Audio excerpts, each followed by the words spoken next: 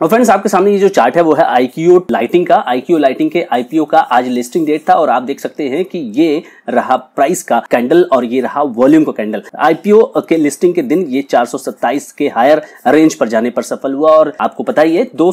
रुपए के higher price band पर ये आईपीओ जिसको भी मिला है, उसकी तो आज चांदी अच्छी खासी हो गई है फ्रेंड्स तो आप देख सकते हैं कि अपर प्राइस बैंड के बाद आईपीओ क्लोजिंग लगाने में सफल रहा एक अच्छे खासे लेवल पर। और वो लेवल है फ्रेंड्स जो ओपनिंग हुआ था आईपीओ का वो था तीन सौ बानवे रुपए का, उसके बाद चार सौ सत्ताईस हाई और लो तीन सौ बानवे और क्लोज हुआ है चार सौ तीन रुपए पर। तो चार सौ तीन रुपए की क्लोजिंग के साथ आपके सामने आज दिन का ये एक्शन है आईक्यू लाइटिंग का। फ्रेंड्स आपके सामने ये जो चार्ट है वो है एक्साइड इंडस्ट्रीज़ का। एक्साइड इंडस्ट्री में ज़बरदस्त आपको ब्रेकआउट मिलता हुआ नज़र आया और स्टॉक जो है वो 215 के ऊपर बंद होने में सफल रहा। 215 के ऊपर बंद होने में सफल रहा, इसका मतलब है कि हमें कुछ और लेवल्स भी अब देखने चाहिए फ्रेंड्स तो अब इसके बाद के लेवल्स है फ्रेंड 222 देन 233 और उसके बाद है 242 222 आप याद रखें 222 233 और 242 ये बहुत ही शॉर्ट टर्म के टारगेट्स मैं आपको दे रहा हूँ 222 233 242 उसी तरह से आपके पास जो सपोर्ट लेवल है वो 204 रुपए का है 204 रुपए के स्टॉप लॉस के साथ आप ये ट्रेड वेरी शॉर्ट टर्म के लिए मेंटेन कर सकते हैं लेकिन लॉन्ग रेंज में अगर आप देखें तो यहाँ पर स्टॉक जो है वो अपने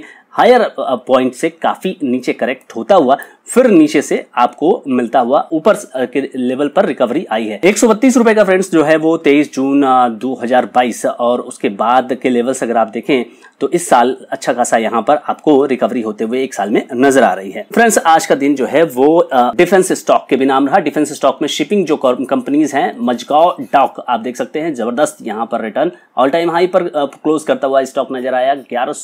अस्सी के ऊपर स्टॉक चला गया है। और ये जो बेस फॉर्मेशन है फ्रेंड्स वहाँ पे अच्छा खासा स्टॉक ने जो है वो वॉल्यूम भी दिखाया हुआ है। ये ये आप देखिए, जो ब्रेकआउट यहाँ पे हुआ है, ये जो शॉर्ट टर्म का ब्रेकआउट है हैवी वॉल्यूम के साथ यहाँ पर ब्रेकआउट हुआ है फ्रेंड्स ये देख सकते हैं कि जहाँ पर सपोर्ट है, वो है एक हज़ार अस्सी एक हज़ार के आसपास का यहाँ पर सपोर्ट है। फ्रेंड्स दूसरी कंपनी है शिपिंग के ही एरिया में, वो है कोचिन सिपयार्ड इसका चार्ट अभी फ़िलहाल उतना आपको अच्छा नहीं नज़र आएगा, लेकिन एक बेस फॉर्मेशन के बाद यहाँ पर भी एक अपसाइड आपको नज़र आ रही है। अब ये जो बेस फॉर्मेशन है, वो था पाँच रुपए के आसपास। पाँच को बेस फॉर्मेशन के बाद अब स्टॉक जो है पाँच को क्रॉस करने के लिए तैयार है। पाँच सौ अस्सी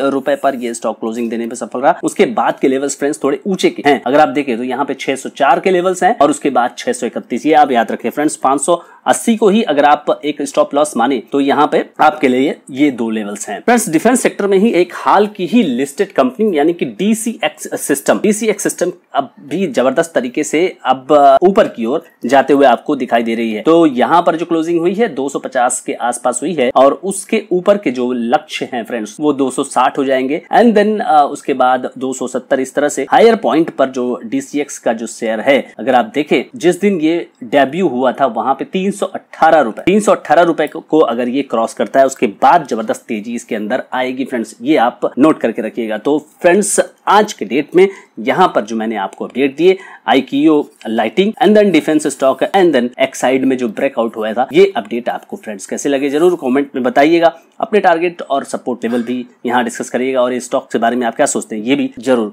डिस्कस करें फ्रेंड्स चैनल पर नए हैं तो सब्सक्राइब ज़रूर करें। Thank you so much friends